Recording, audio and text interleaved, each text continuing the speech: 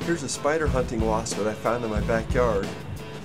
I first noticed it dragging a spider along that it had stung and paralyzed, and I followed it back to its burrow, which it continued to dig out after the spider was dropped off nearby.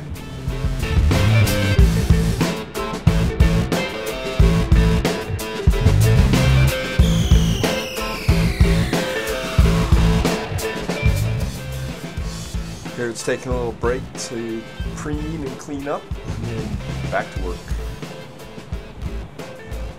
Notice when it came out that time it carried out a large piece before it went back to digging out the smaller pieces.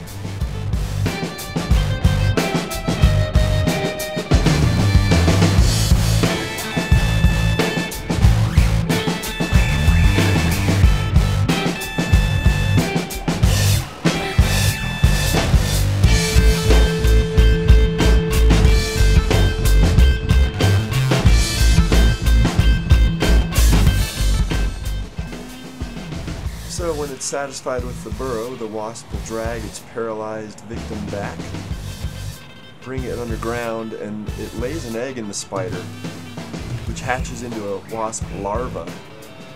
The larva eats the spider from the inside out, and then it will pupate, form a protective cocoon to spend the winter underground, and then it's ready to hatch out as an adult wasp next spring.